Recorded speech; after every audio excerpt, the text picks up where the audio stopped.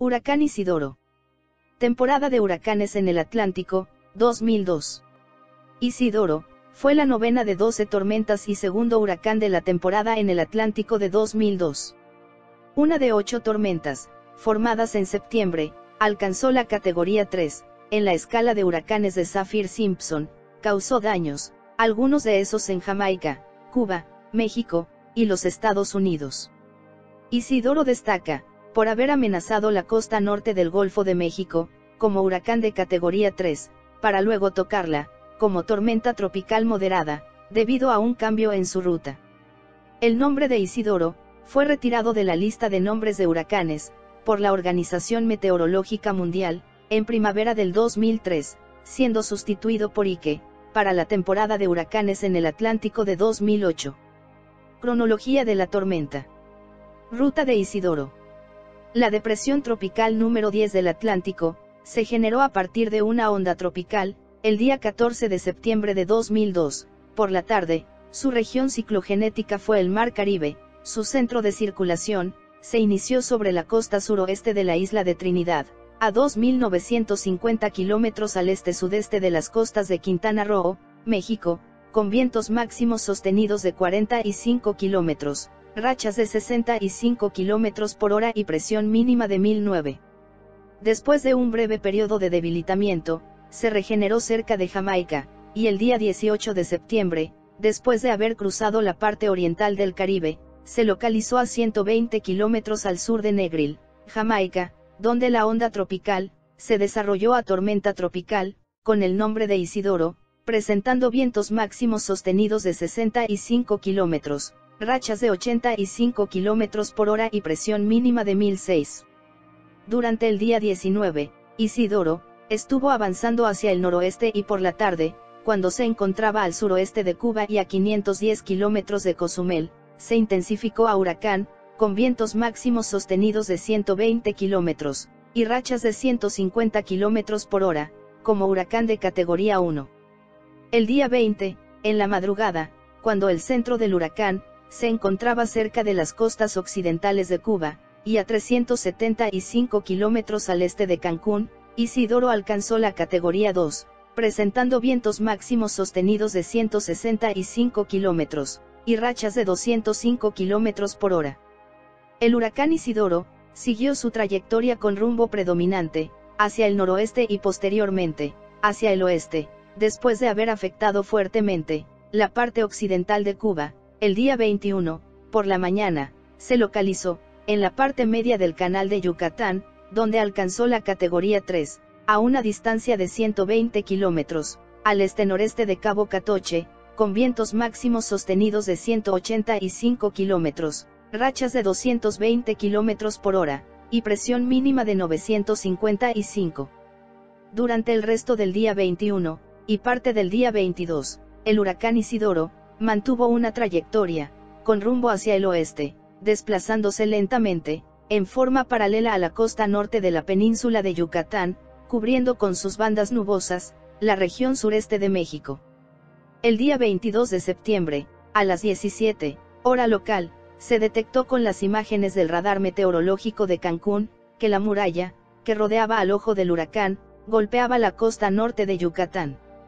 Posteriormente, el ojo del huracán Isidoro, impactó sobre tierra firme, en Telchac Puerto, aproximadamente a 45 kilómetros, al este de Progreso e Isil, con vientos máximos sostenidos de 205 kilómetros, y rachas de 250 kilómetros por hora. Durante el resto de este día, el centro de Isidoro, se desplazó sobre tierra con rumbo suroeste, afectando con fuerte intensidad, a toda la península de Yucatán, con daños catastróficos, sobre los estados de Yucatán y Campeche. El día 23 por la mañana, en su avance sobre tierra hacia el sur, cuando se encontraba sobre Muna, entre los límites, entre los estados de Yucatán y Campeche, el huracán Isidoro, se degradó a categoría 1, con vientos máximos sostenidos de 130 kilómetros, y rachas de 155 kilómetros por hora y más tarde, a tormenta tropical. Durante el resto del día, el meteoro mantuvo una trayectoria errática, moviéndose sobre la parte occidental de Yucatán. Después de describir un rizo, en sentido contrario a las manecillas del reloj, sobre el occidente del estado de Yucatán, el día 24 por la mañana, la tormenta tropical, retornó al mar, localizándose a 55 kilómetros, al norte de Puerto Progreso, con vientos máximos sostenidos de 85 kilómetros, rachas de 100 kilómetros por hora y presión mínima de 987.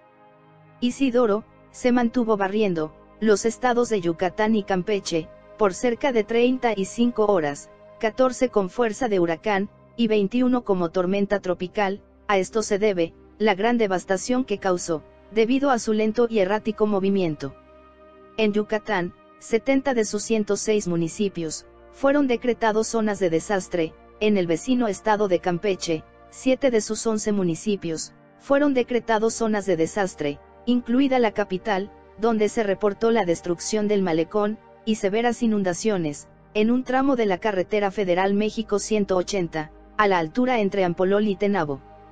Durante los días 24 y 25, la tormenta tropical, siguió una trayectoria con rumbo predominante hacia el norte, cruzando durante estos dos días el Golfo de México, hasta acercarse, frente a las costas de Luisiana y Mississippi, en las últimas horas del día 25, se localizó a 200 kilómetros, al sur de Nueva Orleans, Luisiana, con vientos máximos sostenidos de 100 kilómetros por hora.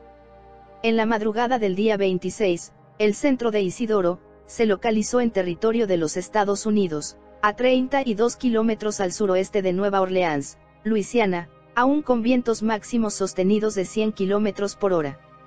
Finalmente, por la tarde de este mismo día, cuando se encontraba, a 90 kilómetros al nor-noreste de Jackson, Mississippi, la tormenta tropical, se degradó a depresión tropical, con vientos máximos de 55 kilómetros por hora, iniciando su proceso de disipación. Efectos registrados. La trayectoria que describió Isidoro, hizo necesaria una zona de alerta, la cual se estableció por la mañana del día 20 de septiembre, desde Tulum, hasta Progreso.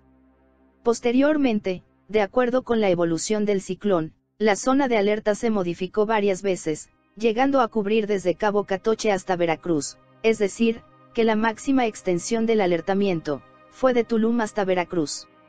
El huracán Isidoro, fue el primero de la temporada 2002, que entró a tierra directamente en México.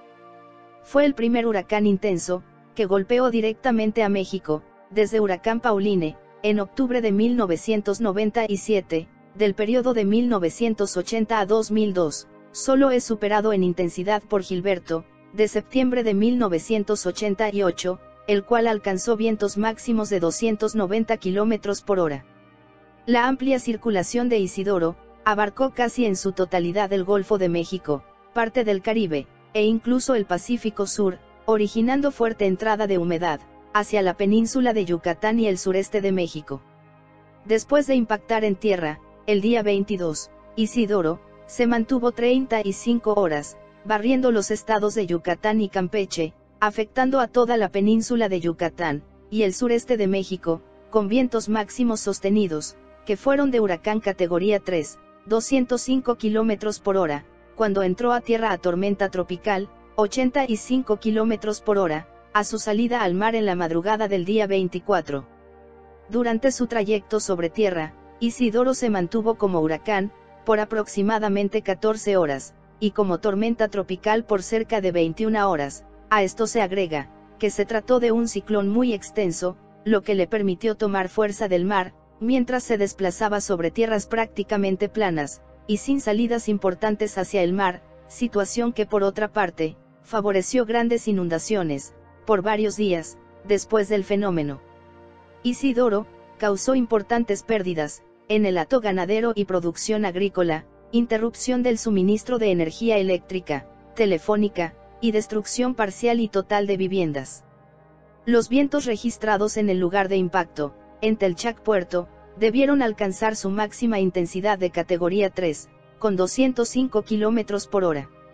Durante su máxima intensidad, justo en el norte de la península de Yucatán, la estructura del huracán fue asimétrica, registrándose vientos medidos por el avión de reconocimiento de la NOAA, de hasta 110 nudos, 205 km por hora, con una extensión de 55 kilómetros, en el semicírculo sur, y de hasta 85 kilómetros en el semicírculo norte.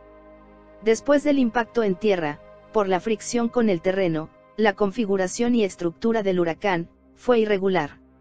El huracán Isidoro, desarrolló su trayectoria en 288 horas, tiempo en el que recorrió, una distancia aproximada de 3.490 kilómetros, a una velocidad promedio de 12 kilómetros por hora.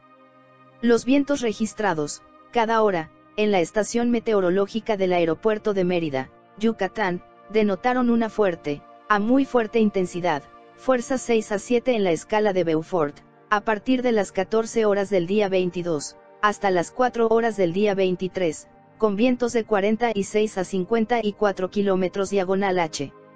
La máxima intensidad del viento, se alcanzó entre las 17 y las 19 horas, justo durante el paso de la muralla, y el ojo del huracán, a 25 kilómetros de Mérida, con vientos sostenidos de 72 a 79 kilómetros, con rachas de hasta 159 kilómetros por hora.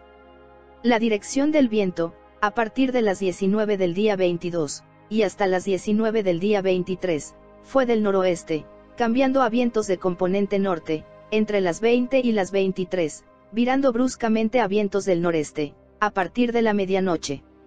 Duración, del 14 al 27 de septiembre de 2002. Vientos máximos, 205 km por hora. Presión mínima 934 HPA. Daños totales 330 millones de dólares. Fallecimientos 4 directas, 3 indirectas. Áreas afectadas Cuba, Yucatán, México, Luisiana, Estados Unidos. Bueno amigos. Este es el fin del video, espero les haya gustado, y conozcan un poco, la historia del huracán, que arrasó con Yucatán y Campeche.